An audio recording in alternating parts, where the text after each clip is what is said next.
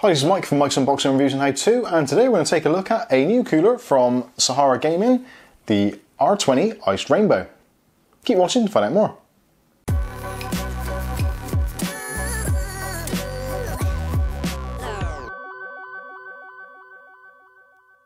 Okay, so in today's video we're going to take a look at a new cooler from the people over at Sahara Gaming.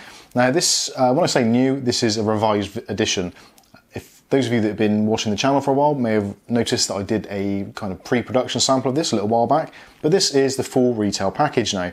So this is the Iced Rainbow cooler, codename R20, and it also comes in the package with the Pirate control box. So this is a radio frequency control box which will take care of your fan speeds and also your RGB lighting, which is included on the fan, and also can communicate with up to nine other devices at the same time, so 10 devices in total, so you can synchronize all of your fans, all of your RGB lighting, all with one nice easy pack.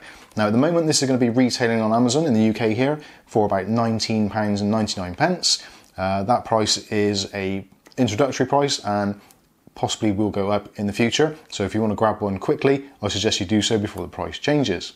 So what is the Iced Rainbow? The Iced Rainbow effectively is a convenient and easy way of cooling down your AMD or Intel processors. This is rated up to 95 watts TDP, so that does cover most of the processors out there on the market. And especially for those of you that are on the sort of more budget end of the scale, this is perfect. Now essentially this Pirate control box on its own retails for around about £10. So this is putting the value of the cooler at around about £10 also, which actually for a RGB cooler is fantastic value for money. So let's take a quick look at some of the specs. So uh, dimensions of it, it's a 120 cooler and the height is 58 mil. The base material is aluminium, the TDP is 95 watts and the fan size is 120 mil, also RGB, with a long life hydro bearing. The rated voltage is 12 volts uh, VDC and the fan's RPM is a maximum RPM of 1800, give or take 10% either way. Um, the MTBF is 50,000 hours and the fan noise is rated about 21 decibels. So pretty decent specs all in all. So let's take it out of the box and see what we actually get.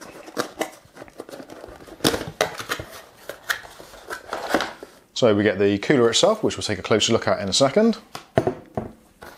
You get a Intel mounting ring, and you get a set of push pins to attach the Intel mounting ring to your Intel motherboard. So going back to the fan, as you can see on the fan, you've got this nice big blade with uh, an opaque characteristic to it, so that's going to let the light shine through it. You've also got this RGB ring, which I'll hopefully be showing you in some B-roll, and also we'll plug it in shortly, just so you can see how it whole works, the whole kit all together. I will also, at the end of the video, be doing uh, benchmarks, etc., with a Ryzen 1700X, so you can get an idea of what the cooling power is actually like on this thing. So moving back to the cooler, it's all been finished in this really nice uh, black kind of anodized look coating. On the bottom, you've got this protective coating over the base plate itself. So that all looks really nice and has been machined very nicely. If you look very closely, you can see how each one of these individual fins is actually completely going through and has been sandwiched together on the bottom. So you're getting the maximum cooling potential there.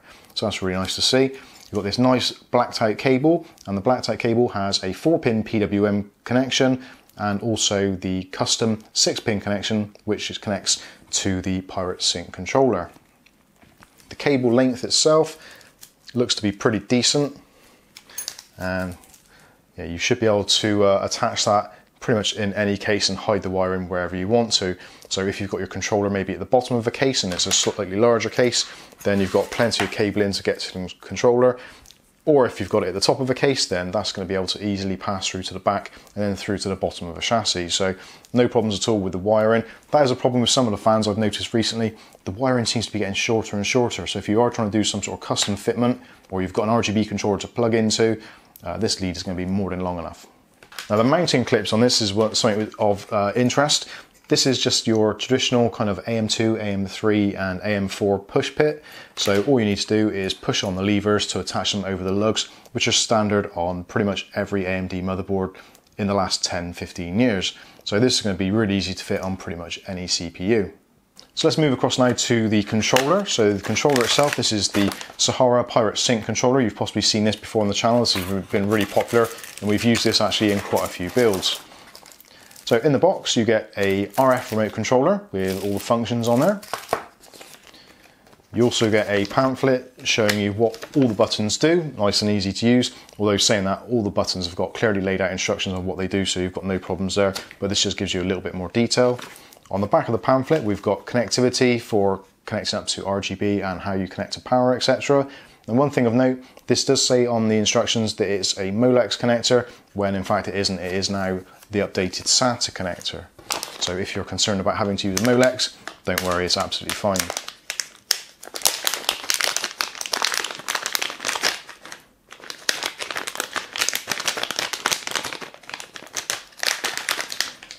So in this bit here, this is the brains of the operation. So this is the main controller.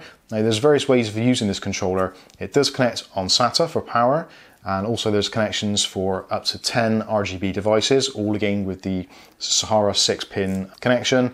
You've also got a connection for a reset button or for an RGB changing button. So if your case has got an RGB button dedicated, just a two pin connector, you can plug that in on the end. Also on the end there, you've got the connection for your motherboard pass through. So you can use this as a dedicated controller, but if you've got a motherboard which supports things like Aurora Sync, MSI, Mystic Sync, all those kinds of things, you can plug the three pin addressable RGB header into your motherboard, connect the other end into the controller, and then you can control everything through your motherboard software. So total flexibility depending on how you want to set it up. So if you've got a motherboard, an expensive board with RGB control, you can use that if you wish. Or if you've got a board which has got no RGB whatsoever and you want to add a bit of extra bling to your system, this is perfect. So you, you can control it from the motherboard, you can control it from the remote control, and also if you wanted to, you can use the buttons on here. So you've got manual three buttons there for changing the LED speed, the mode of the LEDs, and also fan speed, high, low, medium, that kind of thing. On the back is a 3M sticky adhesive, so you can stick that into the back of your case with no worries whatsoever. And if for those of you are using Gigabyte motherboards, there's an additional connector to convert the 3 pin RGB to the custom kind of 1 pin RGB for Gigabyte boards. So that pretty much goes everything that we get in the box. So best thing to do is to grab a test power supply and we'll connect all this up and we'll go through some of the RGB modes. Okay, so we've got the power supply connected up and all our electrics connected up. So I just wanted to go quickly through the connectivity. So we've got the SATA connection, which is going straight to our power supply, which is uh, hidden behind here. This goes straight into the control box, as you can see. Then one of the RGB connections is coming straight off the control box into the fan. And we've also got our pass-through connectors, which I've connected up, but obviously we haven't got a motherboard to control it from. But that then goes to the 4-pin PWM and your 3-pin addressable RGB. So that is your motherboard control so you can run it off separately if you wish to. But like I said before, you don't need to because you've got this handy remote control. So first of all, we'll press the on off button and power it on. And straight away you can see we've got the RGB ring illuminated, which looks really nice. Obviously we, we haven't got the fan spinning currently because we don't have that connected to a PWM controller. But we will do later in the video, so don't worry about that. So on the controller, you've got MB Sync. So if you press MB Sync, it turns this off and then that hands over the control to the motherboard, which again, we haven't got connected at the moment, so ignore that really. But if you want to hand it over, you can do. So press it again and it goes back to the motherboard control. Uh, you've got things like fan auto, fan plus, fan minus, etc. So those at the moment won't do anything because obviously it's controlled from the motherboard on this particular version. But if you've got the other fans connected, which are from the series, so the uh, Pirate Duo Ring or the new Typhoon 14, then that will actually control the speed of those fans independently. So you don't have to worry about your CPU fan being either underpowered or overpowered or whatever it may be. The fans control separately from the remote or obviously the PWM pass-through for that side of it and the CPU is separate. So complete flexibility, no problems there whatsoever. So let's take a look at some of the patterns. So we've got our traditional kind of uh, unicorn puke or flow. That's on Q1, Q2 is another kind of traditional color flow which we see on quite a lot of these um, setups. This is cycling through the colors. That's Q3. Q4 is the kind of the more traditional glow which cycles through the colors. And again, you can speed up the LED speed pressing the LED button and you can cycle through modes. So if you want to change colors, you can go through and do that. So actually, if we go back to this one, I'll show you the actual fan speed, uh, sorry, the RGB control. So the light speed, you can speed up, slow down, And there we go on full speed again. So again, lots of things you can do with it. You can set if you want to, to completely green, red or blue, whichever you choose to do. And there's also a lock button on there so you can go ahead and lock it if you wish to. So let's go through all of the various colors available. And all different cycles. Pretty much most of you have seen this kind of thing before, but it's worth going through just for those of you that possibly haven't seen a fan like this before or an RGB setup like this before.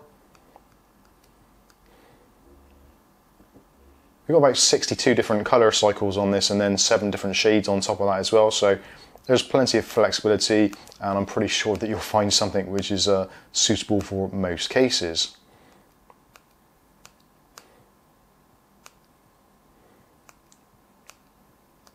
Tons and tons of options. You can go on forever trying to find uh, what works for you.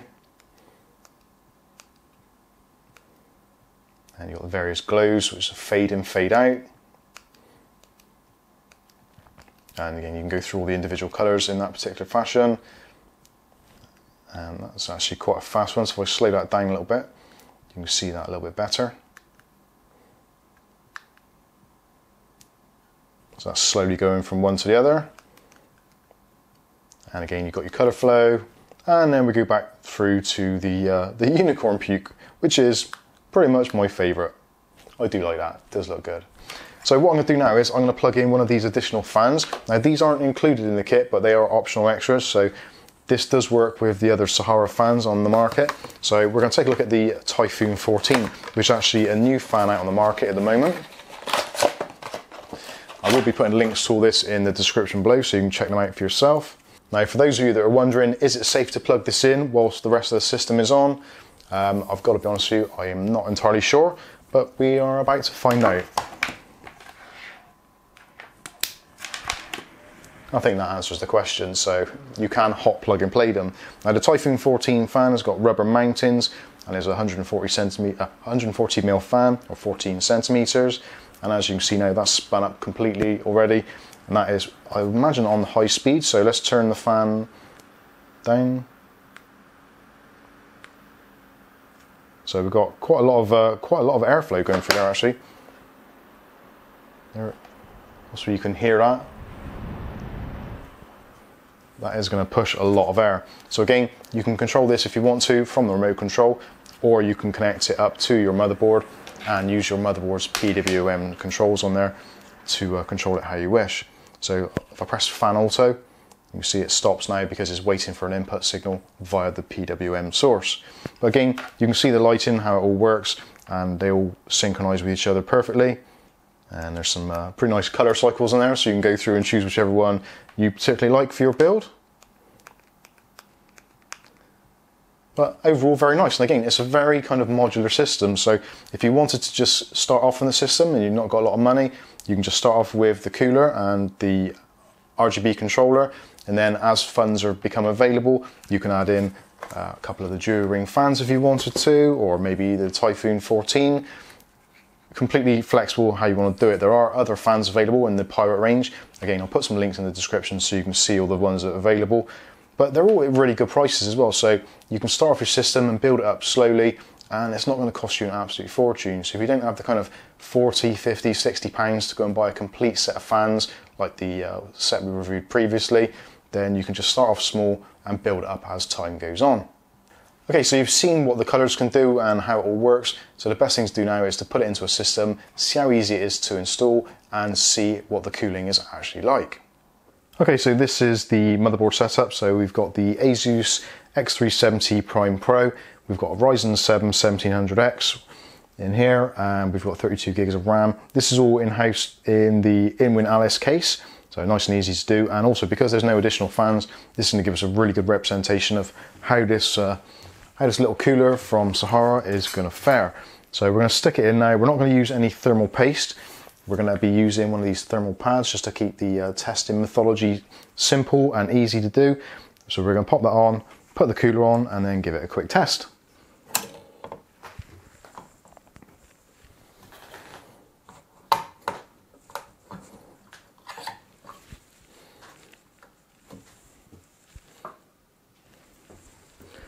So we'll put the fan header in and we'll put that into the CPU header just there. So moving around to the back, all we need to do now is to connect up this connector, which is the RGB connector. So we'll plug that into the RGB controller and that just snaps into place. So all we need to do is put some SATA power into this connector, which fortunately we've got a spare SATA connector down here. And that is pretty much it. So we're pretty much ready to fire up now. Okay, so we're back. So the CPU cooler has been installed, as you can see in the background, and just so you know, it is controlled. There we go, turn the lighting on and off, etc. So you can see that it is actually connected. So actually connecting the CPU wasn't actually that easy. I thought with the spring clip connectors, they would be super simple to do. And I suppose with the older AMD chips where you had the exposed spring clamps, with the lever, it was a little bit easier to do. So with this one, it can be a little bit tricky. And because we've used a thermal pad rather than paste, the thermal pad did have a tendency to kind of move around a little bit, but it, uh, I've reseated it and it's absolutely fine, no problem. So it's making good contact. The CPU cooler is running at the moment. It is at 70, 71 degrees C, which at the moment in the house we've got an ambient temperature of about 24 degrees, is what we've got the heating set to. So it's actually under full load at the moment, running the CPU Z uh, stress test on all cores. And we're currently 100% on all cores and we've not got no signs of throttling. The fan at the moment is ramped up to its highest setting and it's registering as the RPM is about 1900 RPM. So a little bit higher than the 1800 rated, but they do say it's within 10% difference. So uh, that's easily within margins. At idle, the CPU looking like 35 degrees, which again, it's about 10, 11 degrees over ambient, so perfectly happy with that. This is a 95 watt part and this cooler is rated to a maximum of 95 watts TDP. So for me personally, I would say this is having no uh, other cooling other than the cooler itself. So it's completely ambient temperature, it's an open air rig. So if there was additional cooling in there, being forced cooler air in, that would drop a little bit, I would presume. Obviously, Conversely, if you've got a case which has got very minimal airflow, this is going to get pretty hot pretty quickly. So for me personally, I would say that this cooler is more suited towards your 65 watt parts rather than the 95 watt parts. I think that is really pushing the envelope of what is possible out of what is effectively a 10 pound cooler. But having said that, with the lovely RGB control, the flexibility of adding the extra fans, etc, etc, this is actually a really good value for money and I'm really excited to actually go through. We've got a new case coming from Sahara Gaming, which we're going to put a load of fans in, including all this and all this setup. So stay tuned to see how that all goes. But for me to uh, kind of sum this video up, the fitting process was relatively painless. The RGB controller, no problems whatsoever. Very, very easy to connect, very easy to sort of manipulate menus and connect up all that kind of stuff. But I would say if you're looking at 95 watt parts, then I would suggest maybe upping your game a bit with a bit of a stronger cooler. But for those of you on kind of lower end processors, Ryzen 3s, Ryzen 5s, um, any of your 65 watt parts, even kind of 300Gs, 2200 GEs, those kind of things, this is going to be absolutely fantastic and it's going to give you a certain amount of bling to your build. So there we go, this has been the R20 from Sahara Gaming. I've been Mike, this is Mike's Unboxing Reviews and How To, and hopefully we'll catch you in the very next video. Thanks for watching.